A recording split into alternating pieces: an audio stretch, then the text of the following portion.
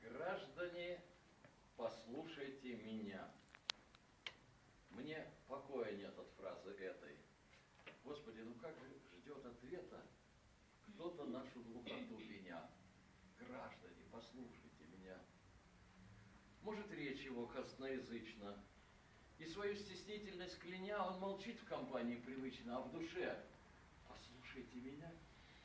Может, в песне он чуть-чуть фальшивит, может быть, в стихах не все путем, но ведь должен кто-нибудь услышать, чем живет он, что ночами пишет, как же мы простого не поймем. Каплю доброты обыкновенной, искорку ответного огня, и, быть может, стихнет во вселенной тот извечный вопль души сме- сметенной. Граждане, послушайте меня. Так, ну и вам век нужен. Да, да. Да, посвящается уходящему веку. Ну, концовка как раз хорошая.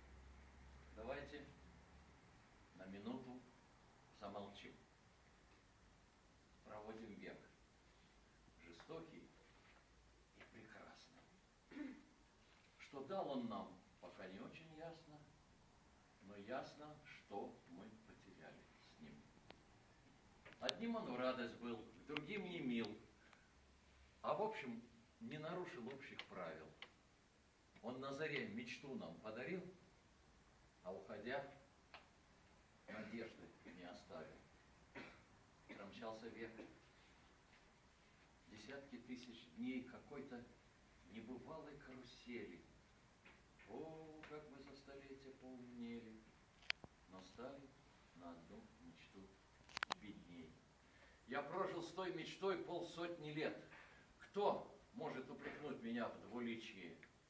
И если век кого обидел лично, то у меня к нему претензий нет.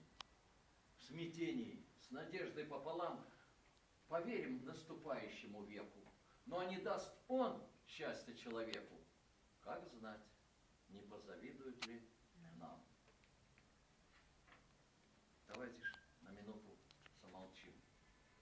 Уходит век, уходит наше время. Мы остаемся на земле.